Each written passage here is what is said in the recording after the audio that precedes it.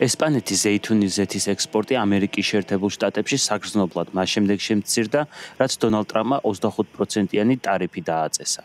ეს გადაწყვეტილება მან Airbus-ის სუბსიდირების საპასუხოდ მიიღო.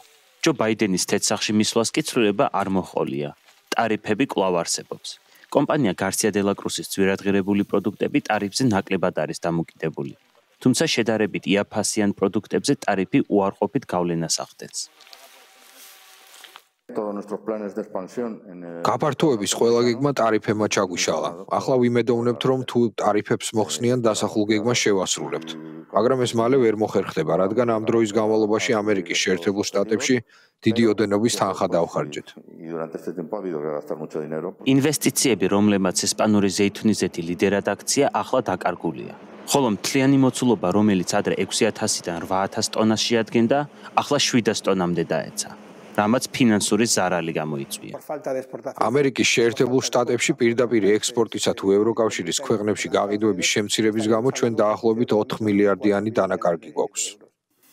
მიუხედავად იმისა, რომ ამერიკის შეერთებულ შტატებში ზეითუნის ზეთის შემოტანა 2019 წლიდან 2020 წლისთვის 19%-ით გაიზარდა, ზარალი მაინც დიდია. ბაზარზე ადგილის დაკარგვის თავიდან არიდების მიზნით, ბევრმა ესპანურმა კომპანიამ ზეითუნის ზეთის წარმოება პორტუგალიური ან ტუნისური ეტიკეტით დაიწყო. ამ ორი ქვეყნის წარმოება კი 700 და 850%-ით გაიზარდა. თუ სიტუაცია არ შეიცვალა, ზეითუნიზეთის სექტორს გადაადგილება მოუწევს, რაც მწარმოებლებს დიდ ზიანს მიაყენებს.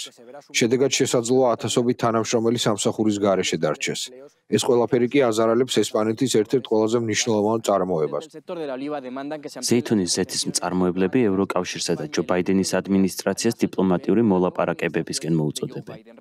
ისინი იმ ტარიფების მოხსნას მოითხოვენ, რომლებიც აერონავტიკის კონფლიქტის გამო ესპანურ კომპანიებს დაუწესეს.